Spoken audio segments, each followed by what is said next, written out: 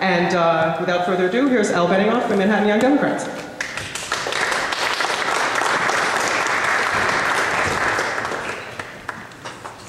Thank you, Tracy. Um, Manhattan Young Democrats is excited to co-sponsor this event uh, because uh, part of our goal is to help educate, encourage, and empower young people to get involved in the political process.